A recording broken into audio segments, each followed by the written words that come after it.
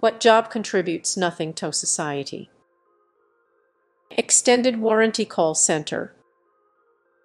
Telemarketing phone scammers. Um,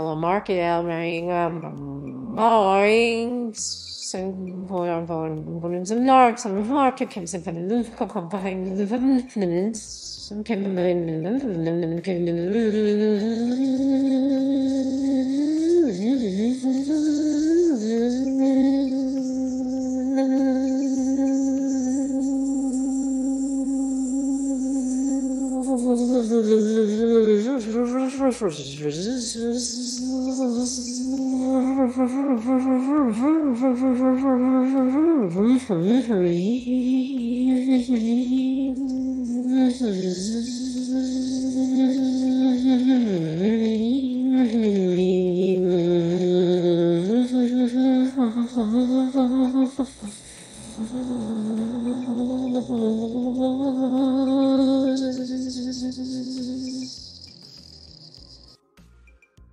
Admissions counselor for unaccredited schools.